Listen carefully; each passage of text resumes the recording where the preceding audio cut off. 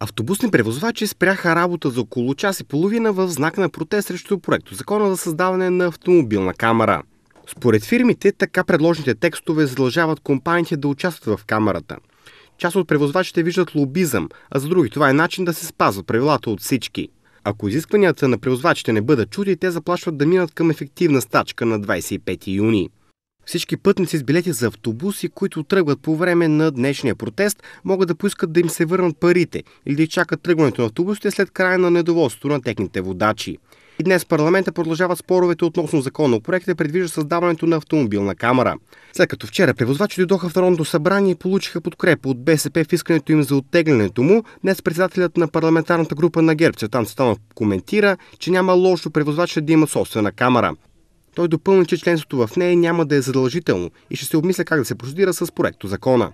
От БСП продължава да са убедени, че създаването на автомобилна камера е лобистки проект и взема функции на транспортното ведомство. Предложението, което направихме ние е законопроекта да се изтегли, такъв какъвто е внесен, да седнат браншовете действително секторно, международен транспорт, товарен, имат едни проблеми, да се обединят.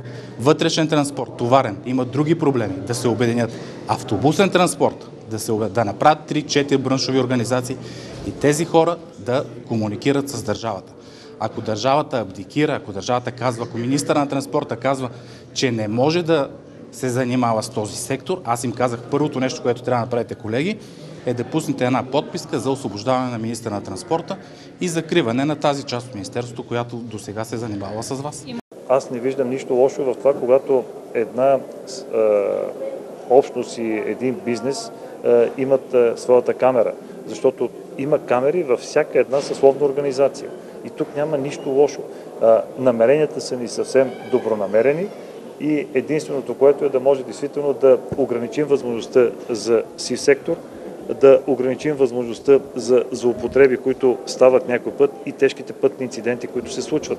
Защото нека да си погледнем и да кажем, че много са тежки пътните, пътно-транспортните происшествия, които някой път са с отнемането на човешки живот. И вие виждате, че това са транспортни фирми, които под една или друга форма са участници в тези тежки пътно-транспортни происшествия.